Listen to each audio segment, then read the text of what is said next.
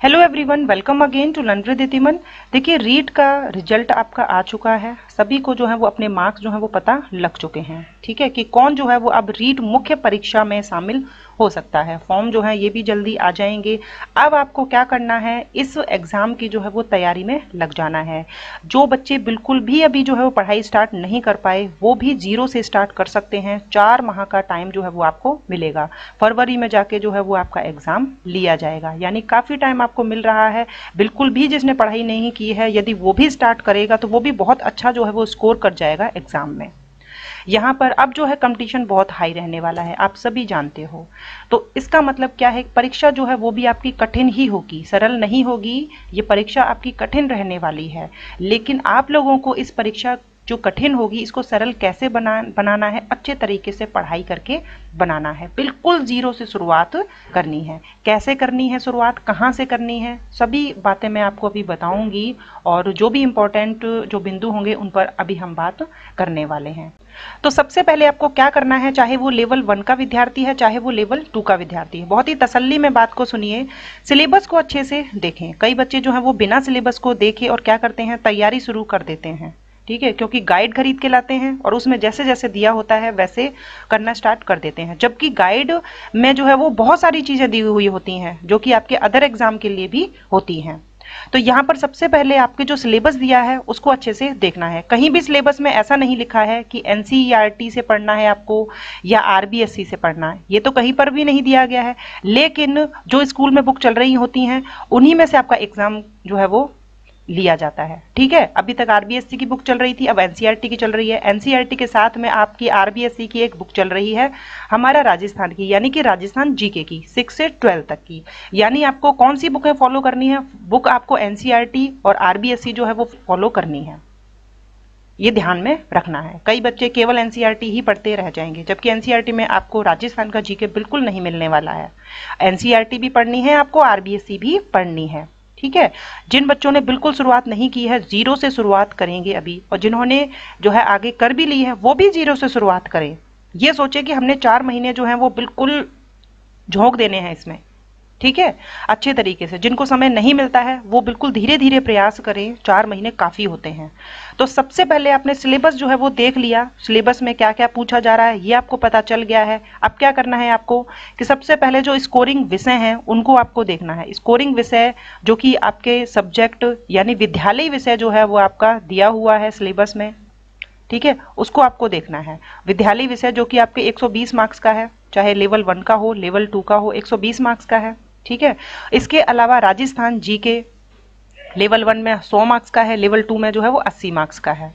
तो ये सबसे ज़्यादा स्कोरिंग विषय हो गए आपके। 300 मार्क्स में से 200 मार्क्स तो आपके यही हो गए। इन पर आपको ज़्यादा ध्यान देना है। यहाँ से मार्क्स बिल्कुल भी नहीं कटने चाहिए। ऐसे आपको तैयारी करनी है। ठीक है? और ये दोनों ही चीज़ें ऐसी हैं जो कि आपने रीट में भी पढ़ी हैं। लेकिन रीट में जब आपने पढ़ी थी तो उनको विस्तृत रूप से नहीं पढ़ा। किसी बच्चे ने जो है क्वेश्चन आंसर सीरीज़ से काम चला लिया। किसी ने जो है वो बिल्कुल नोट्स तैयार नहीं कही, नहीं किए।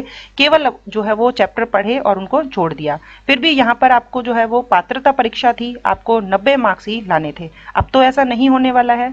नब्बे मार्क्स से आपका काम नहीं चलेगा। आपको जो है वो अच्छे से तैयारी करनी पड़ेगी। जब मेरिट लिस्ट में आपका नाम नहीं आएगा तो सारी मेहनत आपकी खराब हो जाएगी।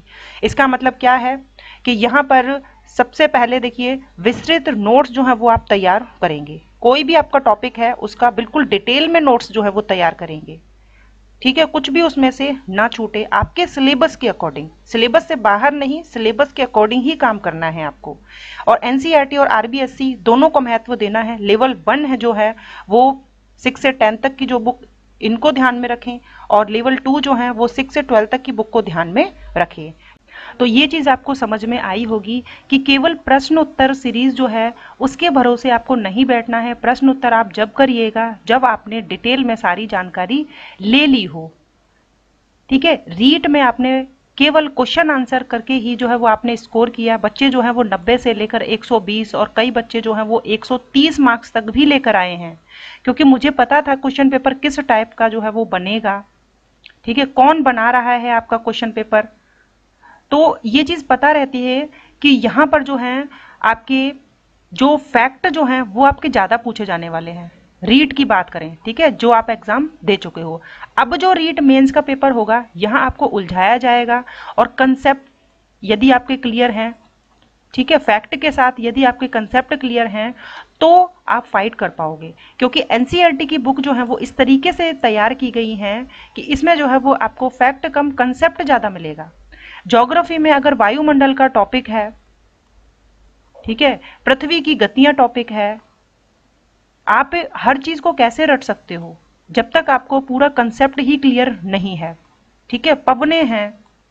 ये ऐसे टॉपिक हैं जिनकी आप जो है वो कितने भी जो है फैक्ट रट लो कंसेप्ट आपके क्लियर नहीं है तो आप कैसे फाइट कर पाओगे एग्ज़ाम में? जहाँ वन लाइनर की बात होती तो मैं भी स्टार्ट कर देती और आपको बोल देती कि आप जो है वो इनको कर लो और पास हो जाओगे। जहाँ मुझे नहीं लगता है तो वहाँ पर मैं ये चीज़ नहीं स्टार्ट करती हूँ। बच्चों के साथ जो है वो खिलवाड़ जो है वो बिल्कुल नहीं होना चाहिए, क्योंकि बच्चे जो है वो मेहनत कर रहे हैं। ठीक है? और मेहनत जब वो बेरोजगार होते हैं तो वो अपना कुछ पैसा जो है वो खर्च करके प्लस मेहनत करके और फिर जो है वो तैयारी करते हैं। सीटेट जैसे एग्ज़ाम हैं ठीक है? इसके अलावा रीट जो एग्ज़ाम है, यूपी टेट है, इसके अलावा आपका एच टेट है, पंजाब टेट है, ये वन लाइनर आप कर लोगे तो वहाँ आपका काम चल जाएगा। अब नहीं चलेगा। रीट मेंस है, पटवार है exam first grade second grade ये ऐसे एग्ज़ाम होते हैं जहाँ पर आपके कंसेप्ट अगर क्लियर हैं, अच्छे से आपने जो है डिटेल में उस चीज़ को पढ़ा है तो आप फाइट कर सकते हो। इस चीज़ को आप बहुत अच्छे से समझ लें। ठीक है? रीट में देखिए आपको प्लस पॉइंट क्या क्या मिल रहा था? एक तो आपकी जो है वो नेगेटिव मार्किंग नहीं थी। ठीक है? दूसरे आपको 90 नंबर जो है, यही लाने थे। ये प्लस पॉइंट था। इसके अपोजिट जो है, अब नेगेटिव मार्किंग है। 90 सौ से आपका काम नहीं चलने वाला है। ठीक है? जब मेरिट आएगी, जब आप खुद ही देखिएगा, इतनी हाई मेरिट गई है। क्योंकि जितनी वैकेंसी होंगी उतने ही जॉब ले पाएँगे। तैयारी जो है वो सभी करके जाएँगे बहुत अच्छे तरीके से। ठीक है? और नंबर केवल उन्हीं का पड़ेगा जो कि एक नंबर आगे या दो नंबर आगे होंगे। ठीक है? और एक एक नंबर आपको पीछे कर देगा औरों से। तो यहाँ पर मैंने आपको दो चीज़ें बताई कि एक तो स्कोरिंग विषय जो है, इन पर आपको ध्यान देना है, यानी कि एसएसटी जो है, जिन बच्चों का एसएसटी है, जिनका साइंस है ठीक है? उनको अपने सब्जेक्ट पर ध्यान देना है 120 मार्क्स का जो है, और प्लस आपको राजस्थान जीके पे बहुत अधिक फोकस करना है। कई बोलते हैं, हमने तो राजस्थान जीके पढ़ लिया है, रीट में ही पढ़ लिया था, अब हम पढ़ के क्या करेंगे? ऐसा नहीं है। आपको दोबारा से स्टार्ट करना चाहिए, दोबारा से आपको ये पढ़ना चाहिए। ठीक है? तो ये चीज़ आपको बहुत अच्छे से समझ में आई होगी। और प्रश्नोत्तर सीरीज़ के भरोसे नहीं बैठना है कि प्रश्नोत्तर सीरीज़ जो है वो निकाल दी जाएगी, तब हम करेंगे। ये पूरा पढ़ने के बाद की बात होती है। यही मैंने रीट में भी आपको बोला था कि जिन बच्चों ने चैप्टर पढ़ लिए हैं, वो केवल क्वेश्चन आंसर सीरीज़ से काम चला सकते हैं, वहाँ आपका काम चल गया। अब नहीं चलेगा। ठीक है तो क्या करना है आपको? आप अगर नोट्स तैयार कर रहे हो, चाहे लेवल वन का हो लेवल टू का हो, विस्तृत में नोट्स तैयार करो एनसीईआरटी आरबीएससी e की बुक जो है, उनको फॉलो करो मार्केट में अवेलेबल हैं। और करंट अफेयर के चक्कर में आपको अभी से नहीं पढ़ना है। ठीक है एग्ज़ाम के जो है वो पंद्रह बीस दिन पहले ही करंट अफेयर जो है वो आप देखिएगा। वैसे भी जो राजस्थान की जो भी योजनाएँ हैं, वो तो आप अदर सब्जेक्ट में भी पढ़ोगे। तो यही सब कुछ जो है वो करंट अफेयर में पूछा जाएगा। तो इसलिए करंट अफेयर के लिए अभी अभी से ही तैयारी जो है वो ना करें। यहाँ पर जो है वो 10-12 मार्क्स जो है वो आपके, चाहे लेवल वन हो लेवल टू हो, इतना ही आपके पूछा जाने वाला है करंट अफेयर तो यहाँ पर जो है समय बर्बाद ना करें, क्योंकि करंट अफेयर जो है, इसकी कोई न तो सीमा होती है। ठीक है? इसका कोई अंत नहीं होता है। तो इसीलिए इसको जो है लास्ट टाइम के लिए छोड़ें। इस पर अभी से जो है वो समय बर्बाद ना करें। समय किसको देना है? समय मैंने आपको बताया कि एक तो जो है वो आपको अपने सब्जेक्ट पर देना है समय, ठीक है? दूसरा आपको राजस्थान जीके में आपको समय देना है। तो यही आपका जो है वो 200 मार्क्स का हो गया।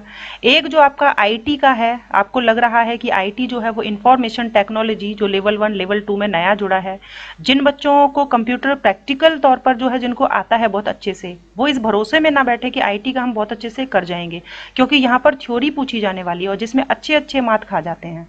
ठीक है? और ये आईटी जो है, यानी कि स्कूल में जो है कंप्यूटर कैसे पढ़ाया जाता है, अब जो है संचार के माध्यम क्या क्या हैं ठीक है? यानी कंप्यूटर के बारे में तो आपको पूरी नॉलेज होनी चाहिए। कंप्यूटर के बारे में आपको कंप्लीट नॉलेज होनी चाहिए थ्योरिकल तो इस चीज़ का आपको विशेष ध्यान रखना है। आईटी जब आप पढ़ेंगे, जब आप जानेंगे कि यहाँ पर जो है आईटी के माध्यम क्या क्या रहे हैं। पहले जो है वो क्या रहा था? रेडियो रहा था। ठीक है? उसके बाद जो है, ऐसे अलग अलग जो है चीज़ें आती रही। आधुनिक जो है समय में कंप्यूटर चल रहा है। कंप्यूटर के बारे में जो है वो नॉलेज होनी चाहिए हर टीचर को, हर अध्यापक को इसीलिए ये सब्जेक्ट जो है वो जोड़ा गया है। कैसे आप जो है वो पढ़ाओगे?